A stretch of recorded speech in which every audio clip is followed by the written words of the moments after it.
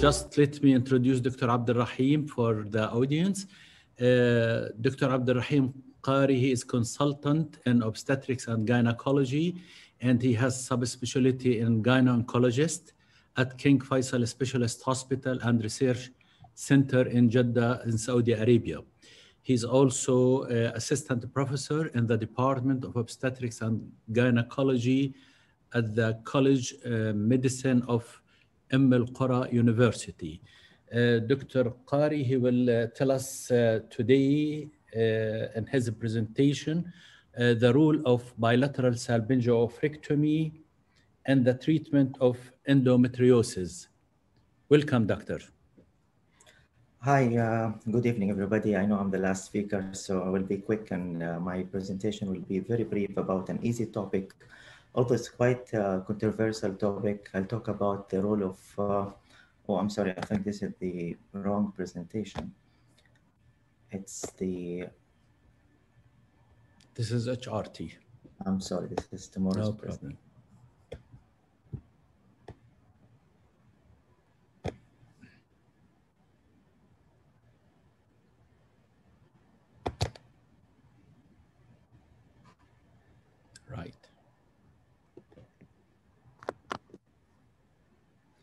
Okay, so uh, uh, I have nothing to disclose and I would like to thank the organizing committee for the invitation. So the the subject of BSO uh, in a patient with endometriosis, um, it's uh, sometimes it's an easy topic to discuss with the patient, but sometimes it might be a very difficult decision. and there are many factors we may have to consider when we counsel the patients. And as we always say, we have to individual, individualize and customize our, our management for each and every patient uh, for the social and medical and uh, psychological aspect for different patients. So counseling is the factor and the key, but we have to consider the age, the reproductive uh, potential, and uh, uh, uh, the symptoms, and what did we try with the patient as medical management or surgical management to begin with. Uh, there is no right or wrong answer for each and every patient. So we have to decide, we have to explain to the patient the ups and downs and the risk and benefits of each and every management plan. So if we go for conservative management versus BSO, we have to explain the patient and the potential for cure and the expected outcomes. Because of the expectations, we have to be very clear with the patient that there is nothing like 100% in medicine. Uh, especially if we're going to remove the ovaries, because as we know that um, there are many sequelae like or consequences for uh, BSO. Uh, always remember when we counsel the patients, we need to explain and maybe we need to meet again with the patient. We need to document because as we always say, documentation is the main key here because we need to explain and document all the points and maybe we need to see the patient more than once. And sometimes like after, after like with time, patient may forget what we discussed. So documentation is really important factors. So as I said before, it's risk and benefit and, and the balance is difficult sometimes. So we have to weigh the, the benefits of bilateral salpingo-oophorectomy and uh, removing the source of the uh, estrogen in the body and uh, the good outcome or improvement of symptoms and minimizing the risk of uh, repeated surgeries. And this is again is the quality of life. And this is again is the premature ovarian uh, failure or menopause and all the consequences of menopause. So as I said before, we have to individualize it. But as we, uh, we know that the uh, endometriosis is estrogen dependent and whatever cuts the estrogen in the body may help in managing the patient's symptoms and improve the long-term um, outcome.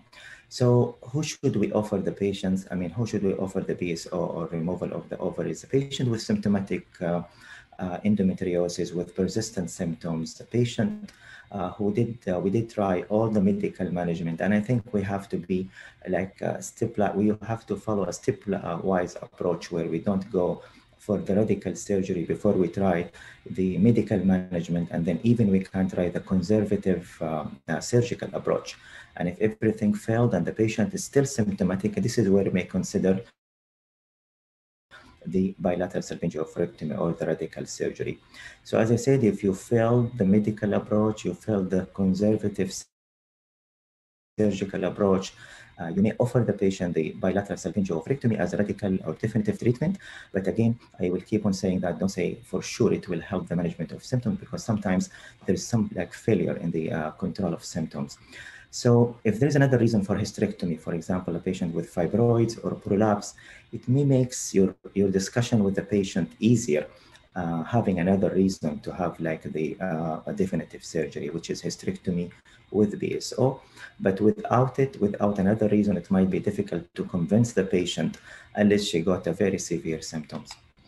So uh, the downsides of uh, bilateral salpingo-oophorectomy, we know that first of all, the loss of reproductive ability or potential, higher surgical complications. Usually, uh, endometriosis surgery is a complicated surgery, and we know that sometimes it's more difficult than gynecologic oncology surgery. But uh, we can weigh the risk and benefits, and we can counsel the patients about the potential uh, for complications. But in the other hand, we should offer uh, the numbers for the complications. When we say there is a complication, we should give them the percentage. Uh, earlier loss of ovarian function or pre premature menopause, surgical menopause, as well as the negative impact on the body. This is all factors, and we know that the psychological and physical, uh, as well as the loss of body image uh, for the patients for early menopause. Um, these are all factors we need to consider. We need to talk to the patient about it. But always remember, if you explain it well, you may, you may decrease the risk or likelihood of regret. There is always a regret, and you can see it, especially if the outcome was not the expected. So there is like in one of the studies, it showed 45 roughly percent uh, regret rate, uh, despite 90% satisfaction. And we do expect the regret rate will be even higher if the patient didn't have the satisfactory outcomes after the bilateral salpingo-oophorectomy. So uh, rule of BSO, for, uh, we know that uh, with extensive adnexal disease, sometimes whatever we kept on doing like bilateral, I mean um, uh, ovarian cystectomies, but sometimes there is a major involvement of endometriosis in the cyst itself, and you may not be able to save the, the ovarian tissues. That might be one of the indications. Um, uh, we know that um, uh, oophorectomy may increase the likelihood of cure and symptoms improve, and I put it here underlined most likely, but we cannot say 100%. You cannot say 100% doing a bilateral salpingo-oophorectomy will improve your symptoms and will give you the cure. As I said before, there is nothing like 100%. Uh, there is no data on which age we should offer the bilateral salpingo-oophorectomy, but we know that the younger the patient, the most difficult to offer. However, most of, I think, the practitioners, they try to save the bilateral salpingo-oophorectomy for patients who are older than 40 and uh, sometimes you may have to offer it in younger patients in severe cases and that's also after the counseling and giving the patient the ups and downs of both uh, modalities. As i said before we have to balance the uh, the pain and the symptoms. In uh, the other hand we have to balance the loss of fertility and law and the loss of estrogen and the earlier menopause.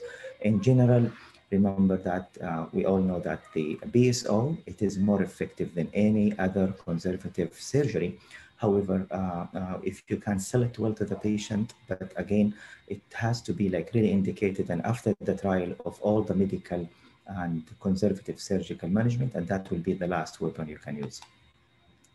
Oophorectomy, just briefly, oophorectomy without hysterectomy, it is not usual, honestly, uh, to, to keep the uterus and do a bilateral salpingo-oophorectomy unless there is um, a patient who, who maybe had uh, like a freezed ovum or embryos or freezed uh, uh eggs, uh, or if there is a, a role of surrogate uh, uh, usage of the uterus and there is like uh, lots of ethical maybe religious different like uh, religions if it's acceptable or not but it might be one of the reasons why do you need to keep the the, ureter, the uterus and removing the ovaries and as I said before, uh, uh, there is like little advantages uh, to retain the uterus um, unless there is other usage. always remember when you counsel the patient, there is what you call it ovarian remnant syndrome, which is around 5% ovarian remnant, meaning intentionally we are trying to remove the ovaries, but because of the extensive adhesions and uh, because of difficult surgeries, there might be some residual uh, ovarian tissues left behind unintentionally. And this is compared to residual ovary syndrome where intentionally you leave the ovary. So always remind that, remember that, because that might be the reason for the failure. And that might be the reason where we don't have a complete um, uh, uh cure or uh, disappearance of the symptoms. And that's why we cannot say 100% bilateral salpingioophorectomy will help in controlling the symptoms. And again, uh, the there is like conflicting data in the literature about the expected uh, improvement or um, what we uh, count on when we give the patient the number, the likelihood of symptomatic relief and the likelihood of free operation. And um, usually you can count it by years, like after a few years, you may need to reoperate. And as I said before, the conflicting data is in the literature because of the duration. The longer the duration, the higher the likelihood of having resurgery again. So this is one of the uh, points when you counsel the patient on the improvement, how do we count it or how do we calculate the improvement in the, the symptoms? So this is just to summarize, or this is one of the studies where we can see here in the first column that they did laparoscopy, uh, but they did only like uh, uh, preserved uh, uh, the ovaries, meaning they did only cystectomies or whatever type of surgery, but there is no oophorectomy. And we can see here, two years after the surgery, the likelihood of having another surgery is 20 per, 21%. But after seven years, you can see it, it's roughly around 60%. In the second column, hysterectomy, uh, but both ovaries also uh, preserved. With the hysterectomy, the likelihood is up to 22% after seven years. Third column is one ovary is removed. But maybe we need to focus on the last column where we did the hysterectomy with bilateral salpingio-oophorectomy, meaning this is like the definitive total abdominal hysterectomy with complete removal of the ovaries. And you can see here the likelihood of another surgery is 4% after two years and uh, up to 8% after seven years. So when we counsel the patients, I think we need to focus in the, uh, the, the these two bars and we can compare BSO without BSO, we can compare 8% after seven years uh, to 60% of um, uh, repeated surgeries after uh, seven years if we don't remove the ovaries. So in general, um, overall, we cannot say there is right or wrong answer. As I said before, it depends upon the patient, it depends upon the uh, potential uh, for fertility preservation and the age and the symptoms of the patient and the modalities we use. And according to that, we have to customize the patients and customize our management plan. Thank you very much. Thank you very much, Dr. Abdul Rahim, uh, for this very summarized uh, idea about uh, uh ovarian uh, uh, oophorectomy. Thank you for the presentation. Thank you, doctor.